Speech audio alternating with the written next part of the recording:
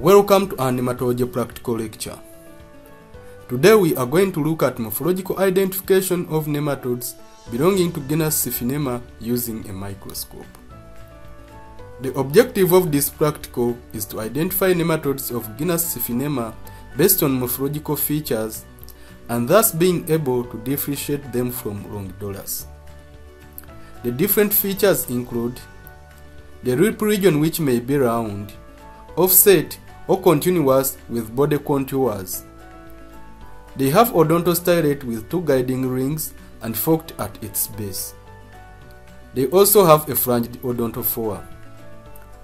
Whereas in Longidorus, there is one guiding ring, non-forked odontostylate and non-flanged odontophora. Females may have monodelphic, didelphic, or pseudomonodelphic reproductive system with or without symbiotic bacteria, Z organs or spines depending on the group. The tail varies from being short to elongate and conoid depending on the group. After this brief recap, let's now start off our practical exercise. For this practical exercise, we are going to use a female nematode that belongs to Americanum group.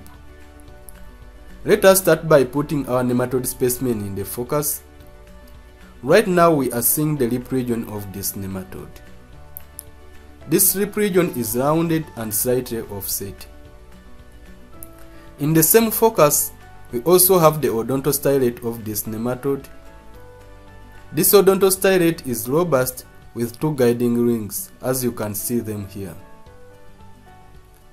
When we come to the end of the stylate, we see that this odontostylate is forked at its base. As we move posteriorly, we also see the odontophora of this nematode and it is a flanged odontophora.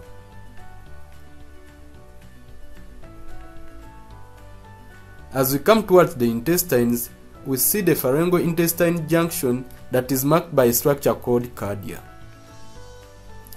When we continue moving posteriorly, we come across the different features of the female reproductive system.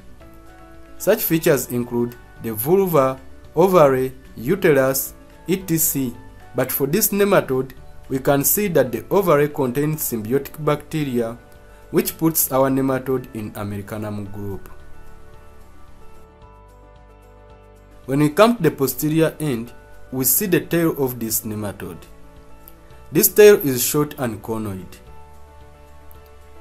From this microscopic exercise, you have seen some of the diagnostic features for genus Xiphinema, and thus enabling us to differentiate it from Longidorus.